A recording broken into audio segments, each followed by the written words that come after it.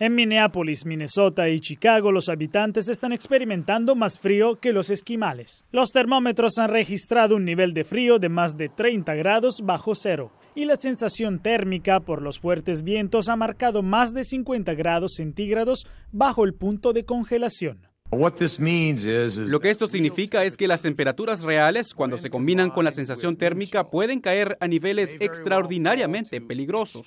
Paradójicamente, algunos habitantes de estas ciudades dicen estar acostumbrados al frío, aun cuando las temperaturas ya han roto récords. Es un frío que congela, pero no es nada por lo que no haya pasado antes. Es solo parte de vivir en Minnesota. Nos gusta el frío aquí arriba. Durante los próximos días, más de 200 millones de personas continuarán viviendo en medio de temperaturas extremas bajo cero.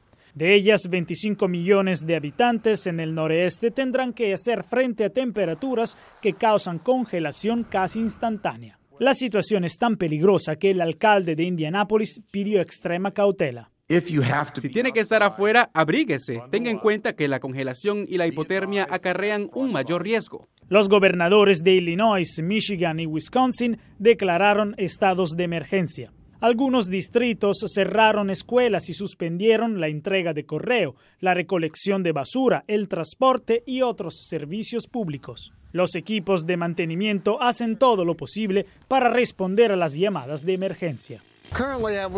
Actualmente registramos 26 cortes de agua significativos en Detroit. Siempre que hay cambios extremos de temperatura, calor o frío, el agua se contrae en la red del acueducto y eso causa posibles interrupciones en el suministro.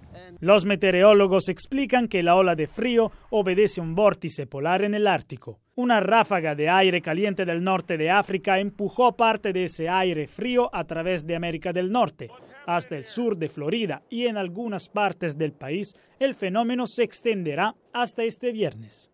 Jacopo Luzzi, Voz de América.